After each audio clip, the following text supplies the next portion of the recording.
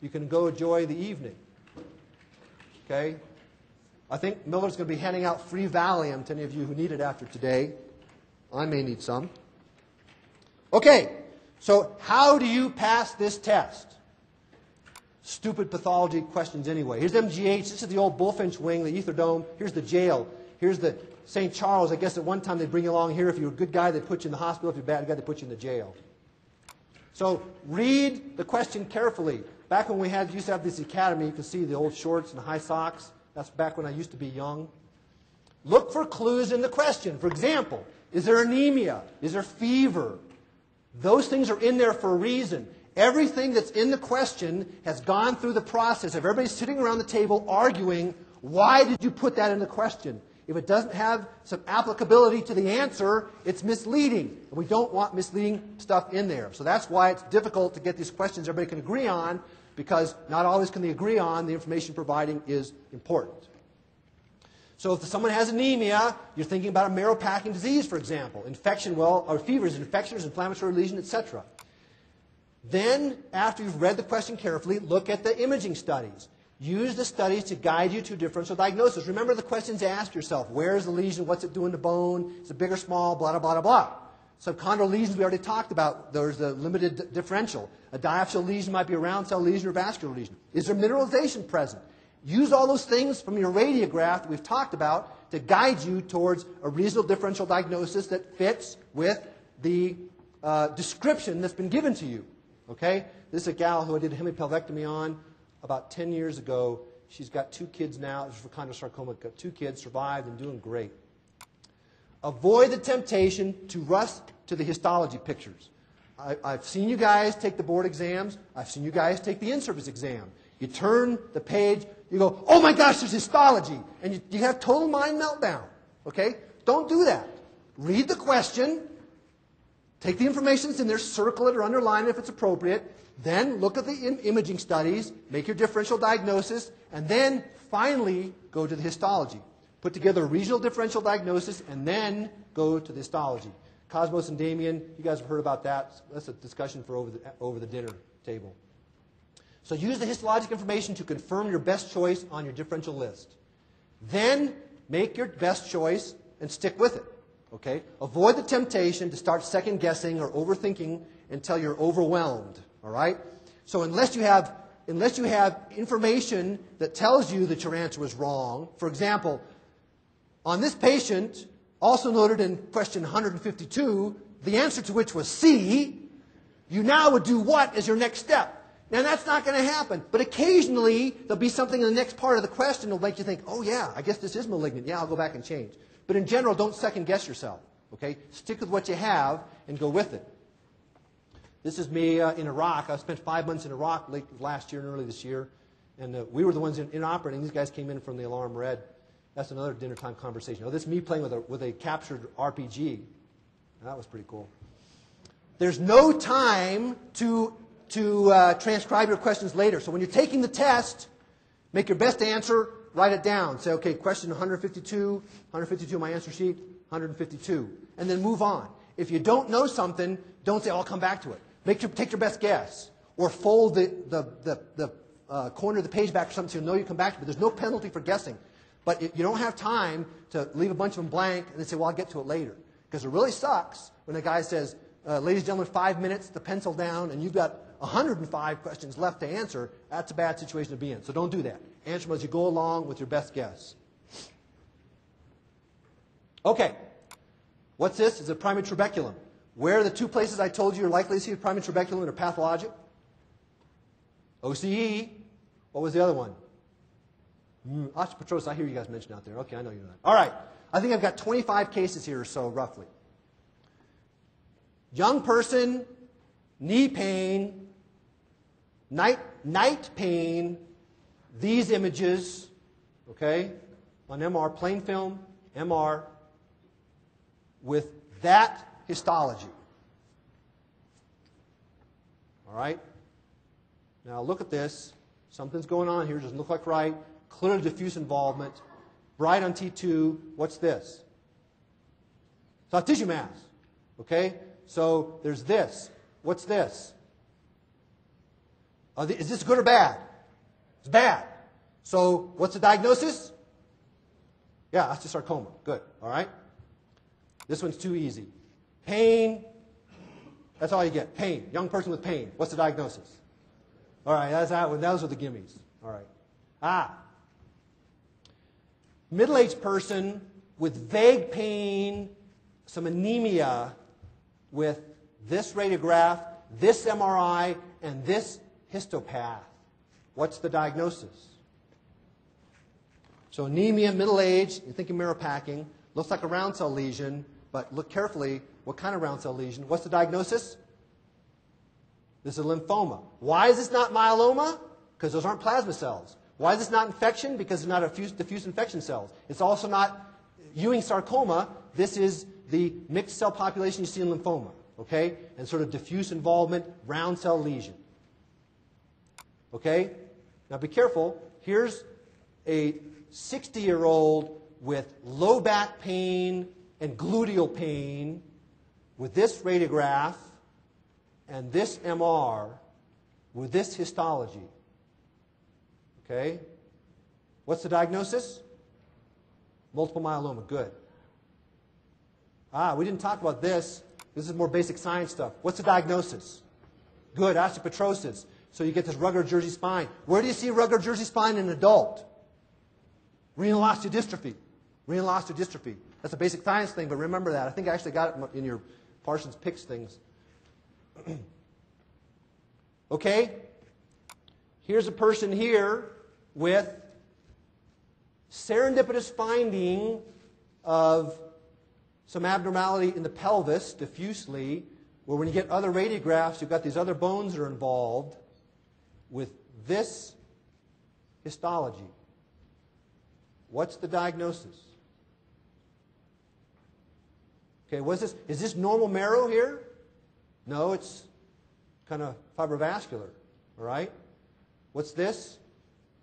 Osteoblastic ring. What's this? Okay, so now I just showed you the, I just showed you the, the answer with the, with the histology, didn't I? What's the diagnosis? Paget's disease. Yeah. So thickened bone here, diffuse thickened involvement up in here, thickening of the bone here. All right. With this histology, Paget's disease. This is an easy one. Doctor, I have a middle-aged person with an asymptomatic lump in their arm. What's the diagnosis? Lipoma, right? Good. Intramuscular lipoma. Excellent. Ah. 45 year old progressive mass in the thigh, painful, who finally comes in because he's having problems putting his pant leg on and he's embarrassed with this photomike. What's the diagnosis? Good. Liposarcoma. Remember, there's a fatty tissue here, but it's not normal, doesn't follow fat signals. Good. Liposarcoma. 65 year old with a big mass in the thigh, which is very painful, and the person is having some pulmonary symptoms and, uh, and maybe even some mild fever associated with this. Big soft tissue mass, what's the diagnosis? It's an old person, so what are you going to guess in an old person? MFH. Okay, did I confuse somebody? Somebody ticked off about that? Is that okay? Okay, good. Sorry. I got, I got some of these, like, if I could be dead, these laser beam looks. Sorry. Okay, young person, skeletally mature, diaphyseal lesion. This changes here. Pain and a, and a fullness in the calf with this histology. What's the diagnosis? Okay, I heard clearly Ewing's. Good. You'll see one of those. We didn't talk about this. Is a basic thing, science thing. Long gracile bones, multiple fractures, been treated with pins this time with some heterotopic ossification. What's the diagnosis? It's a basic science thing. So it's what? OI. Good. Calf pain associated with activity with this MR sequence and this histology. What's the diagnosis? Hemangioma. Good. Remember T1? There it is. On T2, it's bright. All right? And a little bit of mineralization there. Hemangioma.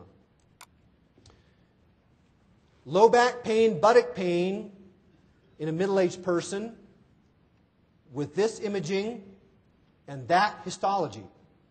What's the diagnosis? Okay, is it a round cell lesion?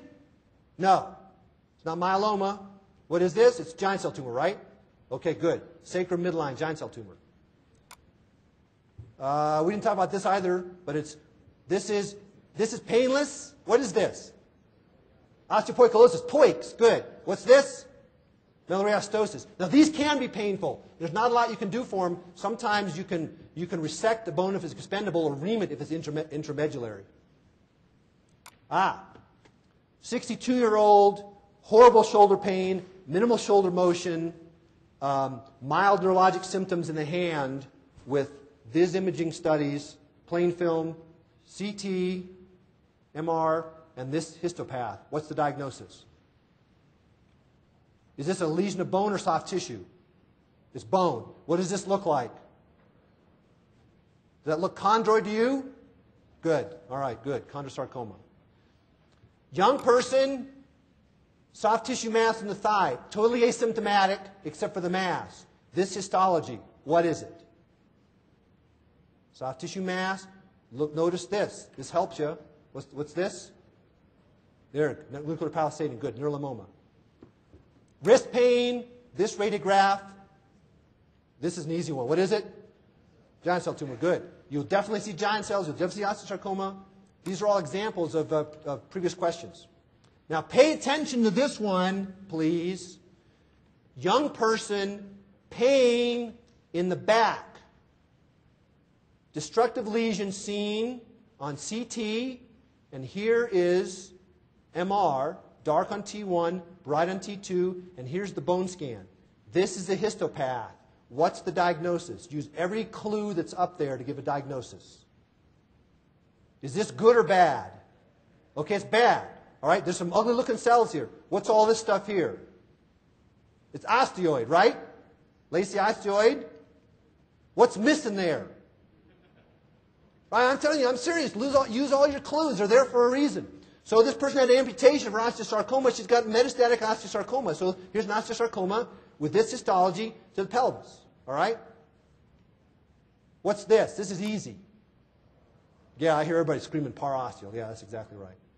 Ah, 65 year old smoker with shoulder pain. Plain film, CT, notice the soft tissue density in that, hot and bone scan, this histopath, what's the diagnosis? It's a MET. All right?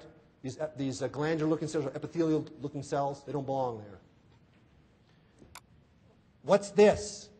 Young kid. This radiograph is an infant. This radiograph, this lesion histopath. What's the diagnosis? Neuroblastoma, metastatic neuroblastoma. Here's the, here's the, um, these uh, rosettes. Now remember, usually, and the, the, usually this question is associated with a CT scan or, or, a bone scan that shows you a mass or something on the belly. But I thought that was too easy to show you on this one. All right, round cell lesion in an infant with those um, rosettes. It's a neuroblastoma. This is a little bit harder one. Pay attention to it. So here's a 30-year-old with pain around the buttock with this soft tissue mass on this MRI. It's been getting slowly larger and clearly more painful.